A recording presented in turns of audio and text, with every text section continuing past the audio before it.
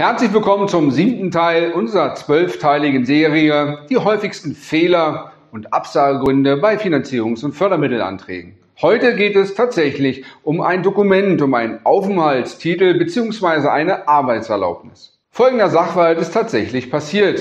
Ein Unternehmer hat einen Finanzierungsantrag bei der Bank gestellt, alle Unterlagen fertig gemacht, Planungsrechnung, Businessplan, Kostenvoranschläge, sämtliche Voraussetzungen also erfüllt und dann fragt der Banker nach seiner Arbeitserlaubnis. Und siehe da, er hatte nur einen Aufenthaltstitel für drei Jahre und auch nur einen Arbeitserlaubnisdokumentenbescheinigung auch über drei Jahre, was bedeutet, dass die Bank sich nicht sicher sein kann, dass ein Kredit, der über acht oder zehn Jahre gegeben wird, überhaupt zurückbezahlt werden kann, weil vielleicht in drei Jahren der Antragsteller ausreisepflichtig ist.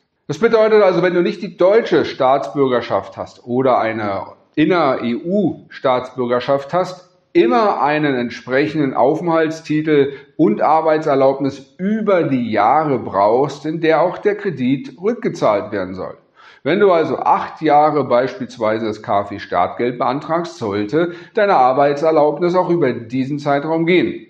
Ist das nicht der Fall, dann bleiben nur kürzere Zeiträume oder du bist eingeladen, längere Anträge zu stellen oder über die Einbürgerung nachzudenken. Und wenn das nicht klappen sollte, brauchst du einen anderen Antragsteller, der diese persönlichen Voraussetzungen erfüllt. Wenn du dabei Unterstützung brauchst, solche Geschäftsmodelle oder Rechtsformen oder Lösungen aufzustellen, die auch bankenfähig und belastbar sind, dann lade ich dich ein, Gebrauch zu machen von dem kostenfreien Erstgespräch, dessen Link du unterhalb des Videos findest. Ansonsten geht es morgen weiter mit dem nächsten Teil unserer zwölfteiligen Serie, die zwölf häufigsten Fehler von Finanzierungs- und Fördermittelanträgen. Damit du informiert wirst, bitte drücke jetzt nicht nur auf das Abonnement, sondern auch auf die Glocke, damit du benachrichtigt wirst.